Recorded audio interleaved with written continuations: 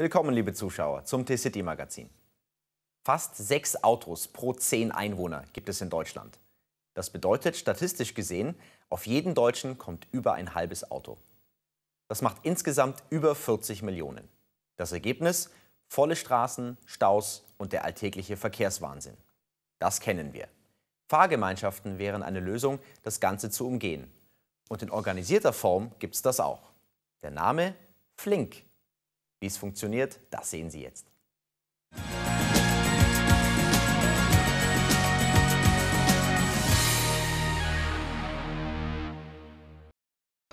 Silvia hat ein Auto, Philipp nicht. Silvia hat ganz schön viel Platz im Auto. Philipp bräuchte Platz in einem Auto. Philipp will nämlich nach Hause. Silvia auch. Gut, dass beide ein iPhone haben. Klingt alles ein bisschen kompliziert, ist es aber nicht. Flink heißt die Lösung für beide. Die mobile Mitfahrgelegenheit funktioniert ganz einfach. Gewünschte Fahrroute in Handy angeben und warten. Also die App ist super einfach zu bedienen. Ähm ich habe hab mein iPhone ja sowieso immer dabei, die mache ich auf, sage, wo ich hin möchte und dann mache ich quasi die App wieder zu und wenn jemand auf meiner Strecke unterwegs ist, dann bekomme ich eine Push-Notification, also eine Information und dann weiß ich, ob ich mitfahren kann. Mir werden automatisch Leute vorgeschlagen, die ungefähr meine gleiche Strecke fahren und die mich dann abholen. Konkret heißt das, Silvia stellt ihre Route ein, Meckenbeuren nach Friedrichshafen. Philipp will vom Flughafen an den See. Philipp liegt also auf dem Weg. Die App erkennt das, zeigt Silvia Philipps Standort und leitet ihn zu Philipp, wenn sie das will.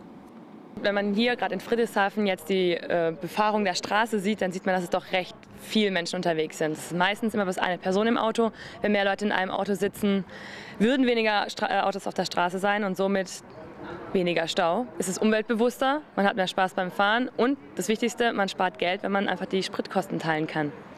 Begonnen hat Flink in Friedrichshafen, die T-City war Modellstadt. Jetzt gibt's Flink für alle in ganz Deutschland. So entstehen Netzwerke. In Unis zum Beispiel funktioniert Flink schon ganz prima. Das Ziel, in zehn Minuten einen Mitflinker finden. Noch nicht ganz erreicht, aber es wird.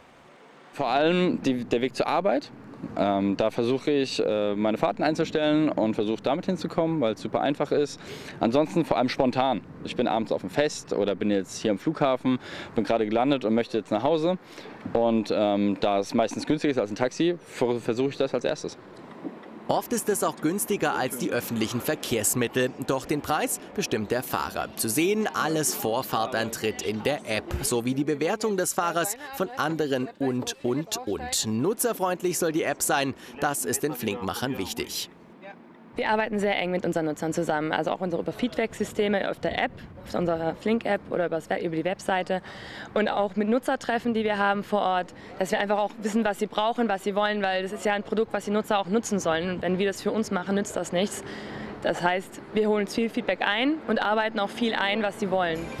Philipp und Silvia wollen jetzt auf jeden Fall erstmal nach Hause. Getrennt übrigens, denn so weit geht nämlich noch nicht mal Flink.